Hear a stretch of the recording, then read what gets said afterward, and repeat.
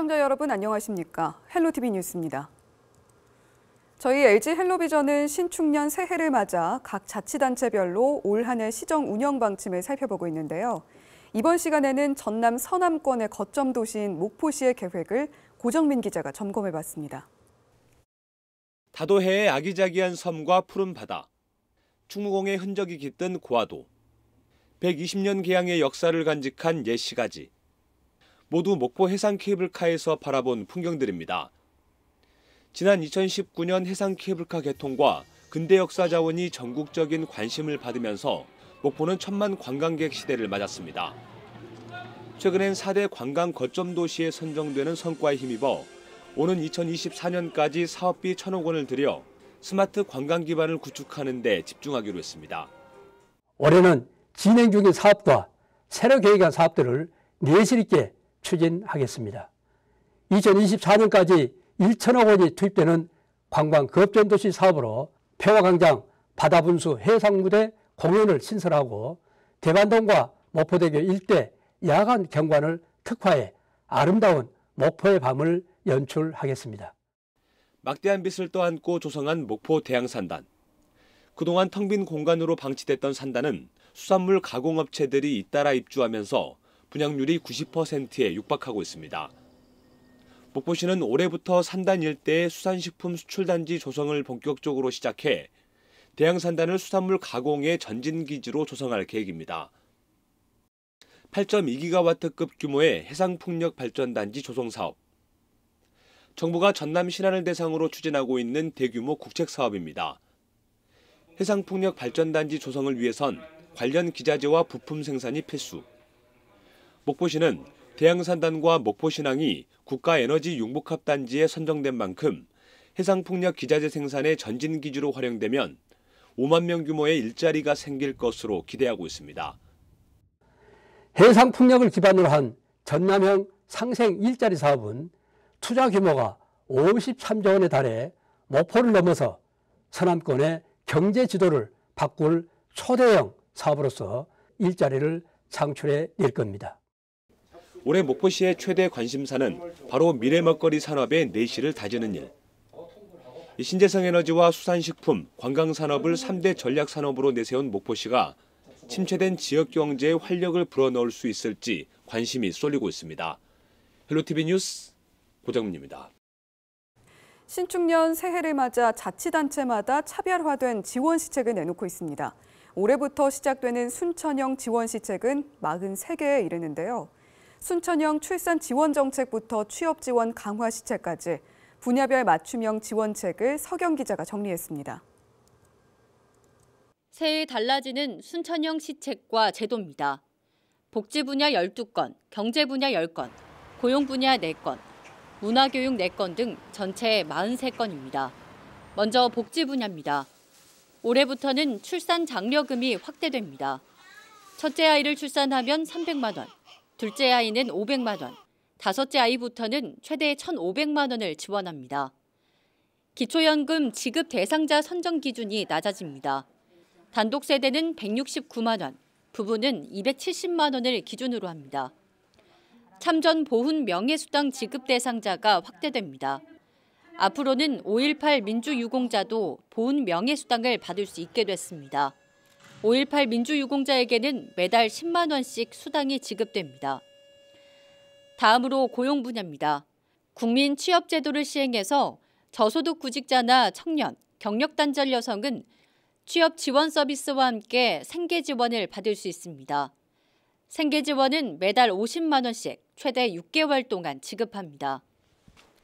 경제 분야에서는 현금 영수증 의무 발급 대상이 확대됩니다. 고시원과 독서실, 미용실 등 9개 업종이 추가됩니다. 또한 양도소득세 납부 대상 주택수를 계산할 때 분양권을 포함해서 산정하게 됩니다. 문화 분야입니다. 올해부터 순천 시민이라면 누구나 1년에 만 원 상당의 회원권만 있으면 주요 관광지 다섯 곳을 자유롭게 관람할 수 있게 됩니다. 마지막으로 환경 분야입니다. 공동주택 분리수거 방침이 강화됩니다. 투명 페트병은 라벨을 제거하고 플라스틱류와 구분해 별도로 분리 배출해야 합니다. 배출가스 5등급 차량은 운행이 전면 제한됩니다. 5등급 차량을 운행하면 1일 10만 원씩 과태료가 부과됩니다. 1만 5천 개의 순천형 일자리를 창출하겠습니다. 청년, 여성, 노인 등 연령별, 계층별 맞춤형 일자리로 일할 만 나는 도시, 일로 행복한 도시를 만들겠습니다. 내 집 마련의 꿈을 응원하고 주택시장 안정화를 위해 아파트 분양의 지역 거주 우선 공급 제도를 시행하겠습니다. 코로나19 장기화 속 분야별 맞춤형 지원책을 강화한 순천시. 올해부터 새롭게 달라지는 43건의 순천형 지원책에 시민들에게 속속 전달될 전망입니다. 헬로티비 뉴스 서경입니다. 강진군이 코로나19로 침체된 지역 경제를 살리기 위해 산업단지 활성화를 통한 일자리 창출에 주력하기로 했습니다. 지난해 처음 추진해 인기를 얻었던 일주일 살기 프로그램도 확대해 소규모 관광 산업을 지속적으로 추진할 계획입니다. 보도에 박종호 기자입니다. 지난해 예산 5천억 원 시대를 달성한 강진군. 10% 수준이었던 산업단지 분양률을 1년 만에 모두 달성하면서 높은 평가를 받았습니다. 강진군은 올해 기업 유치를 통한 일자리 창출에 힘쓰기로 했습니다. 특히 산업단지 활성화에 집중할 계획입니다. 산단 42개 기업 가운데 올해 17개 기업이 착공이 예정돼 있으며 남은 7개 기업의 입주를 독려할 방침입니다. 또 이 산업단지가 본격 조성 예정인 가운데 강진군이 시행하는 공영 개발 방식을 통해 추진됩니다. 기존 산단은 전남개발공사가 위탁했지만 이번에는 강진군이 직접 나서는 겁니다. 강진군은 이 산업단지 최종 승인이 나는 내년 초쯤 착공을 시작할 계획입니다. 산업단지를 유치하는 것은 일자리를 만들어서 우리 지역의 젊은이들이 지역에 정착할 수 있도록 이렇게 하는 것이 가장 큰 목적이죠. 그리고 또 외부에서도 젊은이들이 유입에 들어와서 인구 감소를 조금이라도 막고 지역의 어떤 미래 성장 동력으로 만들어 나가는 이런 과정이라. 지난해는 코로나19로 인해 관광 산업이 침체됐지만 올해는 소규모 관광 활성화에 중점을 둘 방침입니다. 지난해 전국적인 인기를 받았던 일주일 살기 프로그램을 확대합니다. 강진에서 일주일 살기는 지난해 400여 명을 대상으로 진행할 계획이었지만 참가 신청이 늘면서 916명이 참여했고 올해 1,500명까지 확대할 방침입니다. 예, 강진에서 일주일 살기는 예, 코로나 시대에 딱 맞는 이런 관광 상품이라고 봅니다. 그래서 금년에도 예, 더 많은 인원을 늘려서 더 많은 사람들이 강진에 와서 또 청정 지역 강진이기 때문에 와서 힐링하고 갈 수 있도록 잘 준비를 해서 진행을 하겠습니다. 지역 균형 발전을 위한 사업도 집중합니다. 도시재생 사업과 스마트 그린시티, 행복주택 건립 등 사업을 통해 안정적인 주거 환경을 조성하고 지역민들의 삶의 질을 확대시킬 계획입니다. 더 좋은 공동체 형성을 위해 더불어 행복한 강진을 만들겠다는 이승옥 군수. 일자리 창출을 통한 침체된 지역 경제 활성화에 성공할 수 있을지 주목되고 있습니다. 헬로티비 뉴스 박종호입니다.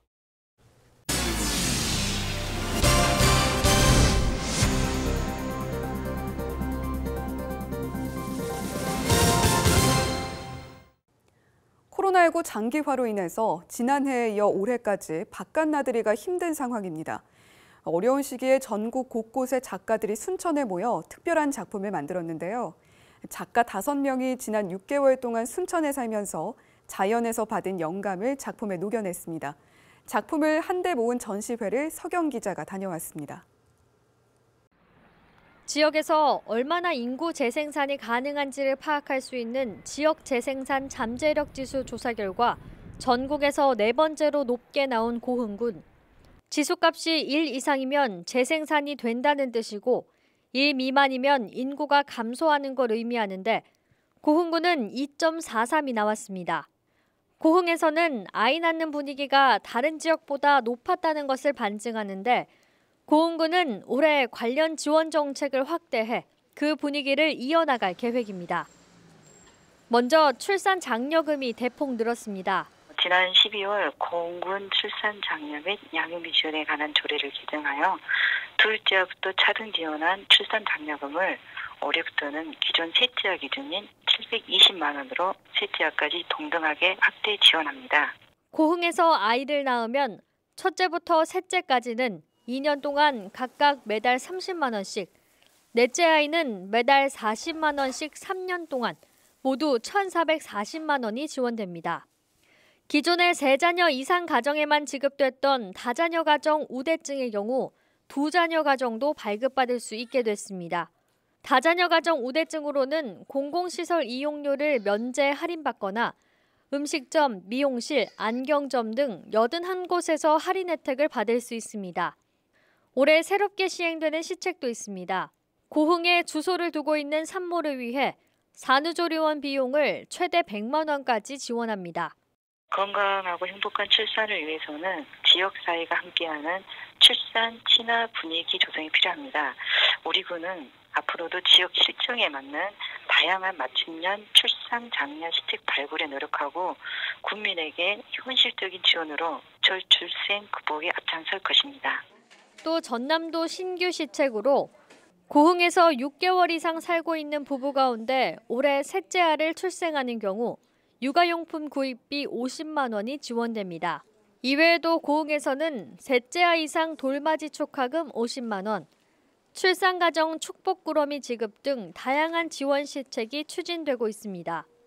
민선 7기가 1년 반 정도 남은 시점에서 고흥군은 미래비전 130 플랜의 인구 감소 제로화 실현을 위해 올해도 박차를 가할 예정입니다.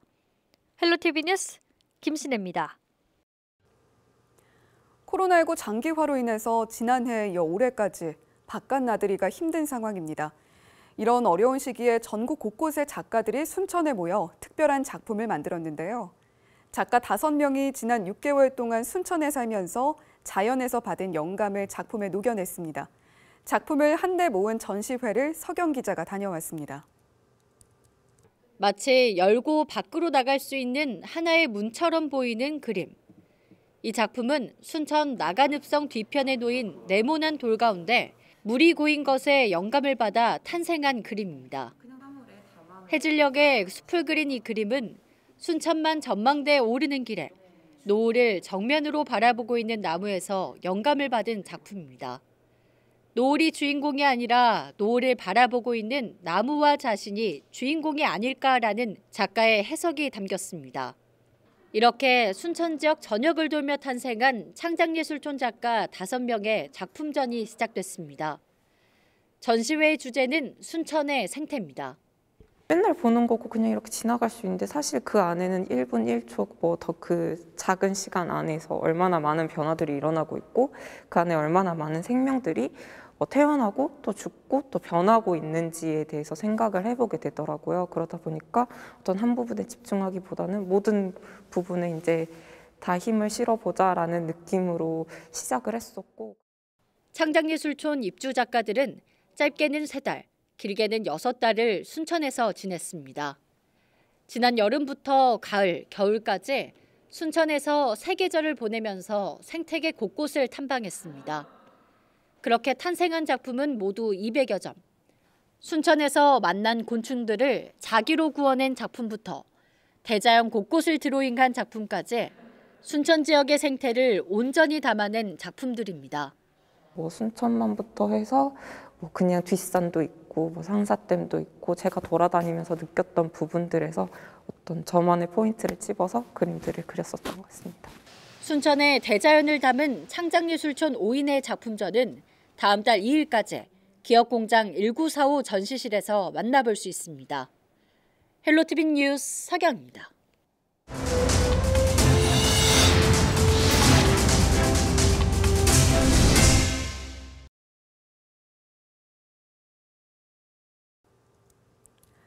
지난주 임시국회 마지막 날 중대재해 처벌 등에 관한 법률이 통과됐습니다. 하지만 적용 대상이 축소되는 등 예외가 많아 노동계를 중심으로 누더기 법안이라는 지적이 잇따르고 있는데요. 실제로 중대재해가 발생하더라도 처벌이 유예되거나 제외되는 사업장이 수두룩한데 광양에 등록된 제조업체 중에서는 유예 대상이 90%가 넘습니다. 김신혜 기자가 취재했습니다. 지난 8일 국회 본회의에서 중대재해 처벌 등에 관한 법률 이른바 중대재해법이 통과됐습니다.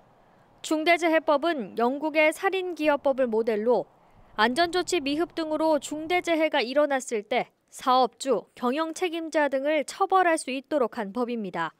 한 명 이상이 숨지는 등 중대 산업재해, 시민재해가 발생할 경우 사업주나 경영 책임자에게는 1년 이상 징역이나 10억 원 이하 벌금을 부과하고 주의 감독을 제대로 하지 않은 법인이나 기관에게도 최대 50억 원을 부과한다는 게 법안의 핵심입니다. 또 손해를 입은 사람에게 사업주와 법인 등이 손해액의 5배까지 배상 책임을 진다는 보칙도 포함됐습니다. 중대 재해가 발생했을 때 사업주를 처벌할 길이 열렸다는 점에서는 법 제정에 대한 의미가 크다는 평가입니다. 하지만 법안에 명시된 예외가 많아 실효성의 의문도 제기되고 있습니다. 해당 법안은 공포 후 1년 뒤부터 적용되는데 5인 미만 사업장은 적용 대상에서 제외됐고 준비 기간을 마련해 주기 위해 50인 미만 사업장은 공포 후 3년 뒤부터 법이 적용됩니다. 실제 지역의 기업 현황에 적용해 봤습니다. 광양시 홈페이지에서 확인한 등록 제조 공장 현황을 토대로 보면 전체의 90% 이상이 50인 미만 사업장으로 법 적용 3년 유예 대상입니다. 다시 말해 법이 시행되더라도 해당 사업장에서 중대 산업재해가 2024년 전에 발생할 경우 처벌이 적용되지 않는다는 겁니다. 아예 법 적용에 포함되지 않는 5명 미만 사업장도 20% 가까이 됐습니다. 지난 10일 여수 산단에서 발생한 30대 노동자 끼임 사망 사고 역시 마찬가지입니다. 대기업 계열사지만 50인 미만 사업장이라 법 적용 3년 유예 대상에 포함됩니다. 이 같은 현실에 지역 노동계는 통과된 법안이 구멍난 누더기 법안이라며 지속적으로 규탄의 목소리를 내고 있습니다. 그러면서 법안이 강화돼 온전한 중대재해 기업처벌법이 만들어질 수 있도록 앞장서겠다는 입장입니다. 대공장이든 영세한 사업장이든 안전보건을 기점으로 하고 노동자들의 건강을 해치고 생명을 위협하는 비참한 노동 현실을 바꿀 수 있는 중대재해 기업처벌법이 강화될 수 있도록 반복되는 산재 사고를 예방하고 노동자의 안전을 보장하기 위해 만들어진 중대재해법. 하지만 유예 예외라는 이유로 면죄부를 받을 중대재해 사업장에 대한 처벌과 유가족의 아픔은 보장해주지 못하고 있습니다. 헬로티비 뉴스 김신혜입니다. 전라남도가 이달 말까지 시군 합동으로 불법 어업 지도 단속에 들어갑니다. 도내 16개 시군이 참여하며 지자체 보유 어업 지도선 17척과 공무원 50여 명이 투입될 예정입니다. 단속 대상 행위는 무면허 양식시설과 유해약품 사용 행위, 조업구역 이탈과 어구 초과 부설 등입니다. 전라남도는 사전 홍보에도 적발될 경우 범칙 어획물뿐만 아니라 불법 어구도 몰수하고 행위자는 사법 조치하는 등 법과 원칙에 따라 처리할 방침입니다. 전라남도가 전국에서는 처음으로 올해부터 학교 밖 청소년들에 대한 교육 참여 수당을 지급합니다. 학교 밖 청소년 교육 참여 수당은 학교 밖 청소년들이 검정고시 준비와 함께 진로 탐색을 위해 사용하도록 지급하는 수당입니다. 대상은 전남에 거주하는 만 9세부터 18세 이하 청소년으로 시군 학교 밖 청소년 지원센터에 등록한 후 센터로부터 제공받은 프로그램에 월 6회 이상 참여하면 매달 지원받을 수 있습니다. 지원 금액은 초등학년기는 월 5만 원을 교통카드에, 중등과 고등학년기는 각각 10만 원과 20만 원을 체크카드에 적립해주며 교통비와 간식비, 교육비, 진로 개발을 위한 문화활동비 등으로 사용해야 합니다. 자세한 내용은 전라남도와 각 시군 학교 밖 청소년 지원센터로 문의하면 됩니다. 전남 지역의 학생 수가 최근 5년 사이 2만 명 이상 감소한 것으로 나타났습니다. 전라남도 교육청 자료를 보면 올해 전남 지역 초중고 학생은 18만 9천여 명으로 지난 2016년 21만 3천여 명보다 5년 사이 2만 4천여 명이 감소했습니다. 오는 2030년에는 학생 수가 16만 명 이하로 줄어들 것으로 전망되고 있어 대책 마련이 시급한 상태입니다. 헬로티비 뉴스 마칩니다. 시청해주신 여러분 고맙습니다.